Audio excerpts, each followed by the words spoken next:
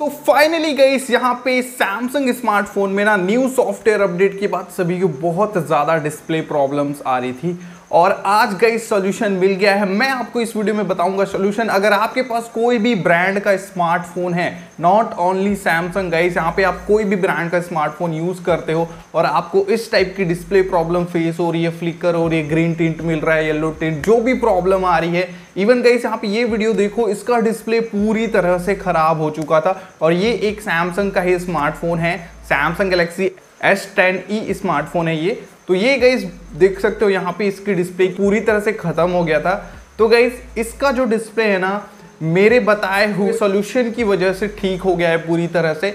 और गाइस मतलब और क्या ही चाहिए आप लोगों को। अभी बताऊँगा इस वीडियो में आपको क्या करना है स्टेप बाय स्टेप सारा कुछ बताऊँगा। तो इस वीडियो को ना, आपको शेयर करना चाहिए क्योंकि बहुत लोगों का इस वीडियो से हेल्प हो जाएगा।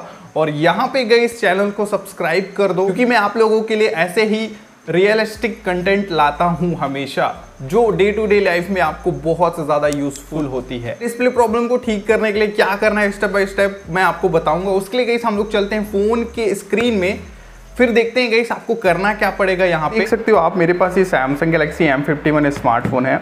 और गई इसमें ना आप ये चीज़ ट्राई कर सकते हो, जिसके बाद गई आपको जो प्रॉब्लम है वो ठीक हो जाएगा। तो मेरे फ़ोन में तो कोई भी डिस्प्ले प्रॉब्लम नहीं है, लेकिन मैंने दो तीन लोगों के साथ ये चीज़ ट्राई किया पहले।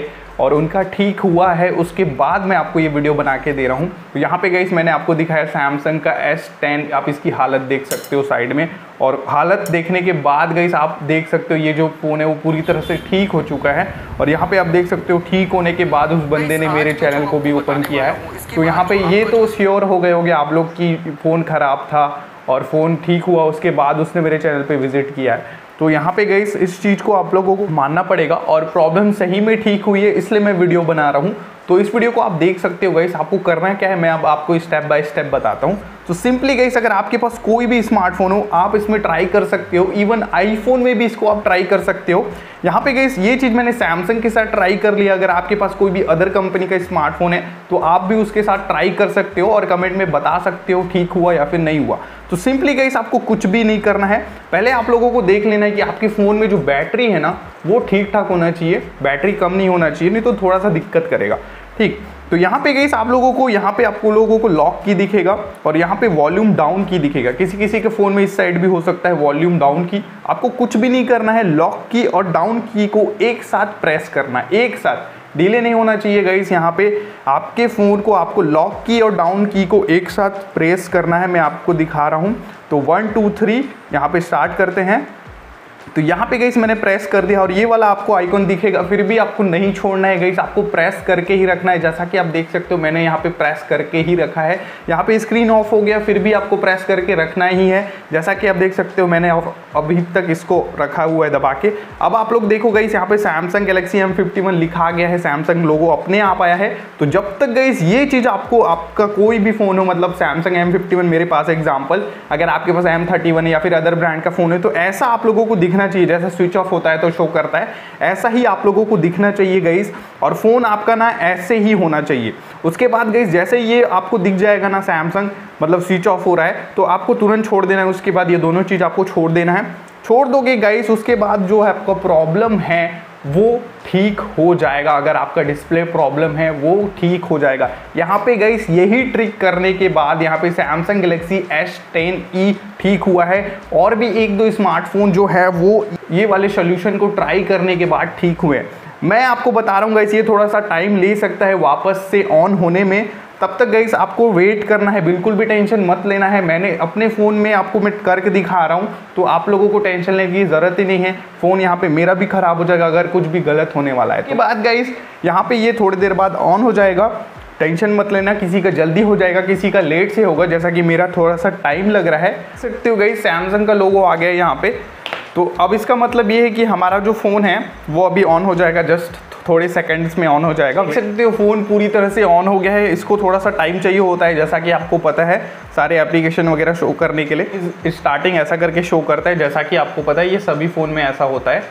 तो यहाँ पे गई कोई सेटिंग वगैरह आपको कुछ छेड़छाड़ नहीं करनी है। जो चीज़ मैंने बताया सिर्फ़ आपको वही चीज़ करना है गई और ये जो मैंने अभी किया ना इसको आपको छः बार करना है।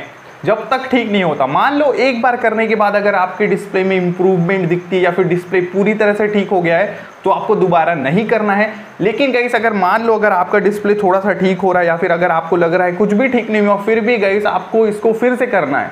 मतलब आप लोगों को 10 मिनट का वेट करना है या फिर एक घंटे भी वेट कर सकते हो, लेकिन 10 मिनट, एक घंटा ऐसे करके वेट करके आपको छः बार करना है इस चीज़ को। मैं आपको बोलूँगा, आप लगातार करिए, लेकिन 10-10 मिनट का आप लोगों को इसको गेप देना पड़ेगा। थोड़ा फ़ोन को 10 मिनट यूज़ करिए। उसके बाद गई आपको यही सेम चीज़ करना है। अब कई लोग बोलोगे कि मेरा डिस्प्ले पूरी पूरी तरह से डेड है। तो गाइस आप लोगों का डेड है, लेकिन फ़ोन तो चार्ज हो रहा है। फ़ोन चार्ज हो रहा है, इसका मतलब फ़ोन ऑन भी होगा। और कैसे ऑन होगा वो आपको पता है तो अंदाज में आपको ऐसा करके ऑन भी करना है ऑन करने के बाद गई आपको ये चीज़ ट्राई करना है।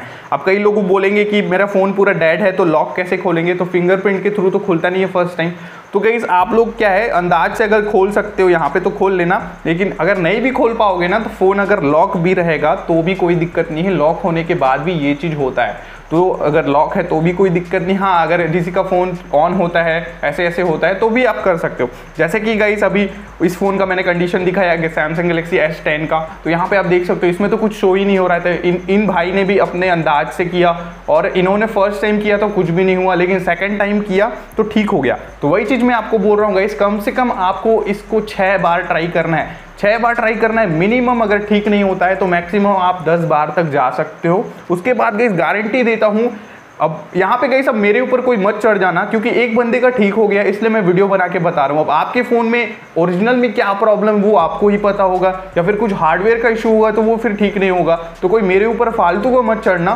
लेकिन जितना मेरे से बन रहा है ना, मैं आपके लिए कर रहा हूँ और यहाँ पे फ़ोन ठीक हुआ है, इसलिए मैं आपको वीडियो बना के बता रहा हूँ।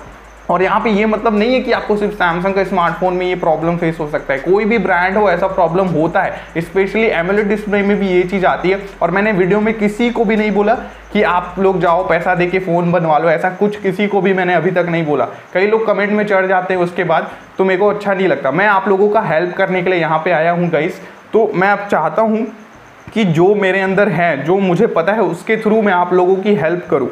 वरना मेरी पढ़ाई का क्या मतलब रह जाएगा?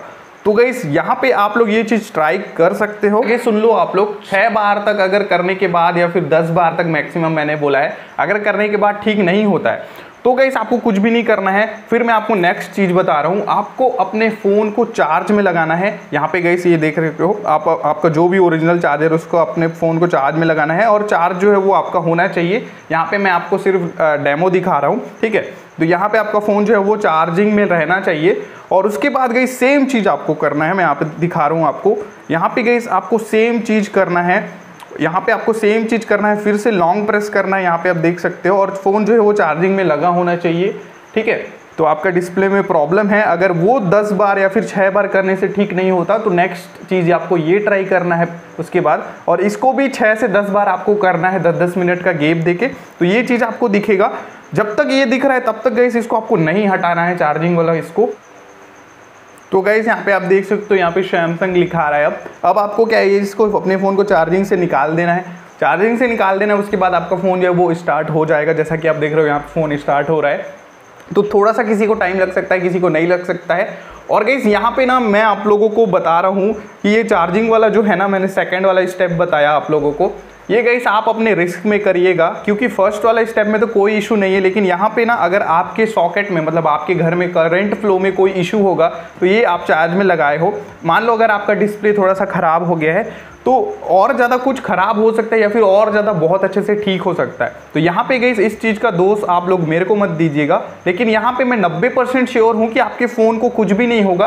अगर ठीक होना होगा तो ठीक हो जाएगा या फिर पहले जैसा ही रहेगा। यहाँ पे 90 परसेंट मैं चांस दे रहा हूँ सेकेंड वाले स्टेप में, जब अपने फ़ोन को हम लोग चार्ज में लगाते हैं। बाकी फ़र्स्ट वाला स्टेप आप बेफिक्र फॉलो कर सकते हो, वहाँ पे कोई भी दिक्कत नहीं है। सेकंड वाले में क्या है, जो करंट फ्लो होता है ना, और उस टाइम हम लोग अपने फ़ोन को रीस्टार्ट करते हैं इस टाइप से लॉन्ग प्रेस करके तो थोड़ा सा इसको झटके लगते हैं अंदर में। अगर आपके घर में करंट अच्छे से फ्लो नहीं हो रहा है अर्थिंग वगैरह प्रॉपर नहीं है, उस कंडीशन में। तो यहाँ पे गई मैं नाइन्टी परसेंट बोल रहा हूँ, कुछ भी नहीं होगा, लेकिन थोड़ी बहुत दिक्कत रहती है मैं आप, इसलिए आपको पहले से बता दे रहा हूँ, ताकि प्रॉब्लम होना तो कोई मेरे ऊपर मत चढ़ना। अब यहाँ पे गई मैं आप लोगों को रीस्टार्ट प्रॉब्लम हो रहा था, उसका सोल्यूशन दिया।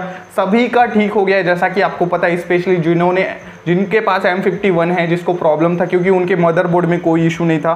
तो मदरबोर्ड में कोई इशू नहीं था सॉफ्टवेयर रिलेटेड जो भी है, वो मैंने बता दिया आप लोगों को। और सबका ठीक हुआ है गई इस बात से कोई भी डिनाई नहीं कर सकता। जिसका भी ठीक हुआ है, वो कमेंट में बता देना।